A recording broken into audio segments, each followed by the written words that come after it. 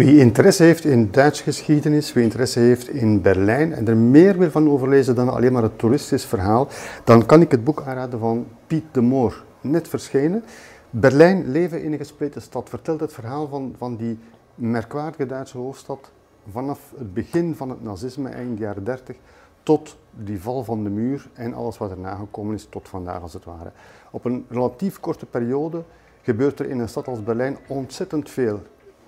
Een kleine periode in de geschiedenis, in de wereldgeschiedenis, maar voor een volk, voor een natie, voor een persoon in één generatie zoveel meemaken is heel merkwaardig. Uh, we kennen het uit Belgisch of Nederlands, andere Europese perspectieven, het nazisme en de gevolgen ervan. Uh, maar vanuit Duits perspectief is het leuk om te zien en te horen en te lezen van iemand die in Berlijn woont, net als ik. En daarbij ook ingaat op de grote verhalen, maar ook de kleine anekdotes van die bijzondere stad.